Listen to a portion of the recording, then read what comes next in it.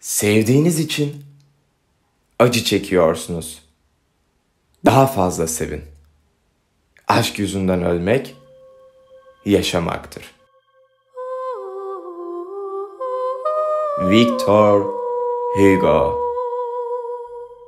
Hugo 1802 yılında tam bir siyasi kaosun ortasında doğmuş ve doğumundan 2 yıl sonra Napolyon tahta geçmişti.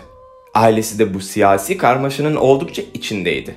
Babasının subay olmasından dolayı sürekli taşındıklarından Hugo yeni yerler keşfetme ve gözlem yapma fırsatı buldu. Yazarın bu dönemde yazdığı eserleri annesinin inancının ve krala olan bağlılığının yansımalarıydı. Fakat sonraki yıllarda tutkulu bir cumhuriyet destekçisi olacaktı. Çok genç yaşlarda üne kavuşan yazar şiirleriyle dikkatleri üzerine çekerek kraliyet maaşı almayı hak kazandı. Cumhuriyet yanlısı olmasından dolayı 3. Napolyon'un darbesiyle Fransa'dan sürüldü ve uzun yıllar göçebe hayatı yaşadı.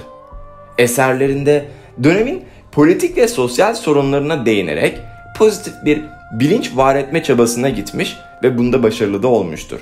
Romantik akıma bağlı Fransız şair, romancı ve oyun yazarı olan Hugo'nun kaleme aldığı Notre Dame'ın kamburu, bakımı ihmal edilen sanatsal tarihi yapıların restore edilmesine ön ayak olmuş. Bir idam mahkumunun son günü giyotine karşı büyük bir tepki oluşturmuş. Sefillerde değinilen sorunlarsa Fransa Ulusal Meclisi'nin gündemine dahil olmuştur.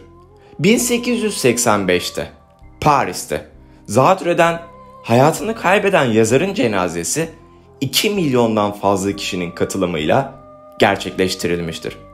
Victor Hugo'nun son sözleri olarak şu cümleler kayıtlara geçmiştir.